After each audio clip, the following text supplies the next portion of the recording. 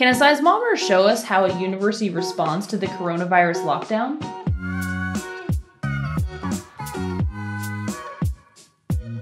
Hi, I'm Ali Sealander with UTD Geo News, and today we're looking at seismic noise, the kind made by people. You may already know about seismicity in terms of shaking from an earthquake. Geoscientists measure and compare the energy released from earthquakes not on a linear scale, but a logarithmic one.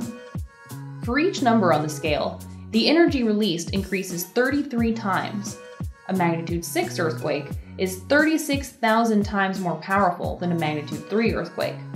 You probably wouldn't even feel an earthquake less than magnitude 3, but the modern seismometers buried underground can. The shaking and vibrations humans make every day go completely unnoticed except by the nearby sensitive seismometers. Things like road traffic, construction, and even people walking near the seismometer produce seismic waves that are several magnitudes weaker than the smallest earthquakes.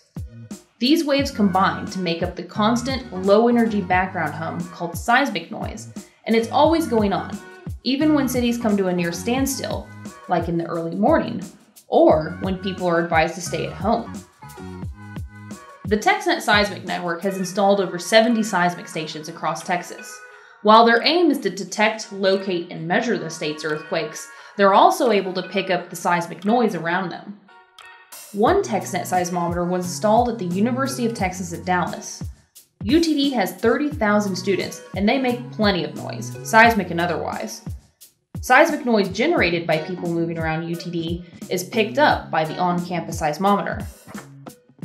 So, what changes would we expect to see in the seismic noise at this or any other university before and after the coronavirus lockdown? Lucky for us, some seismic noise data collected by the UTD seismometer was analyzed by geophysics students of Professor Stephen Arrowsmith at Southern Methodist University in Dallas. Let's look at a couple graphs they generated.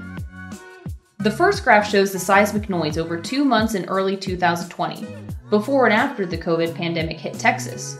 The vertical axis shows the ground displacement in nanometers, and the horizontal axis is time, from February 15th to April 22nd, 2020. To put it in perspective, your hair is about 100,000 nanometers wide, so nanometers of movement is not much. The solid red line shows when students left UTD for spring break. The dashed line shows when shelter in place began.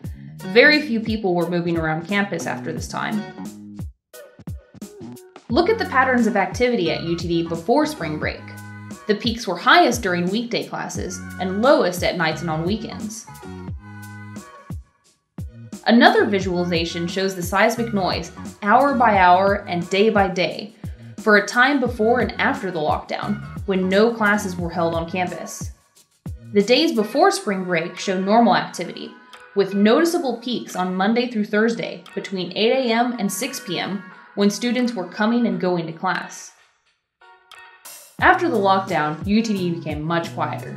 But no matter how quiet a university can get, there's always going to be a few people moving around and a little bit of seismic noise.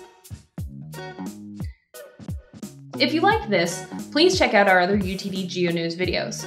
We'll also leave you with a few other seismic plots from around the Dallas-Fort Worth Metroplex. I'm Ali Sealander, and I'll see you next time.